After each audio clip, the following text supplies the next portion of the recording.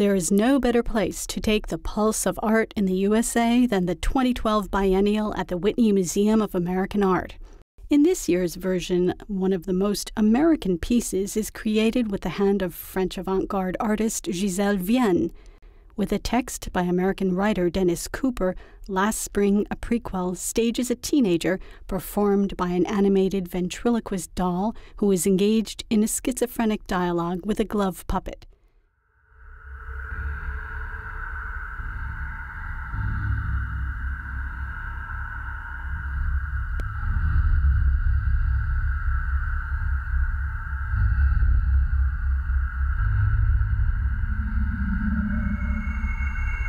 It's a very ambivalent piece. It puts the audience in this weird situation that it's facing obviously a doll, and the visitor very easily projects a conscience on this doll, even if we know it's a doll, even if we're in the States in 2012 and we have we can have a very rational relation to objects. So I like this still magical, confusing relation we have to this.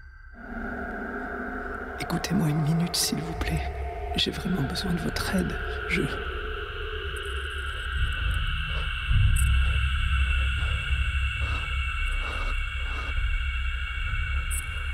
Oh non. Il va parler. C'est toujours dans mon bras que je sens que ça va commencer. Comme un infarctus.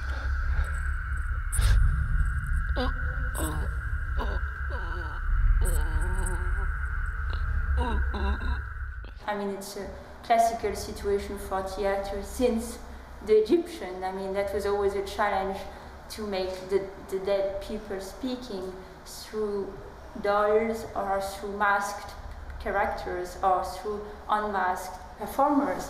We can see that in pagan or religious ritual, the representation of death or of violence or of things that we're scary of is very central. And if it's that central, it's certainly because it's something that is very necessary to us.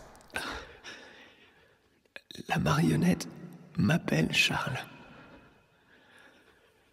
Je ne sais pas pourquoi. Ça ne sonne pas juste.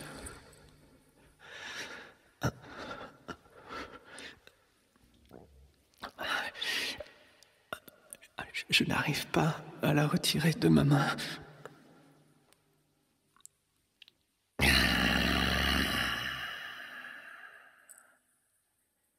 Je m'attarde sur la tête car, quoique étrangement plate et lourde, elle était la seule merveille de son corps. Non, non, je mentionnerai également le cou, si fin et laiteux que sa tête aurait tout aussi bien pu être un vase d'où jaillissait chair, os et sang pour s'engouffrer dans un trou entre ses épaules.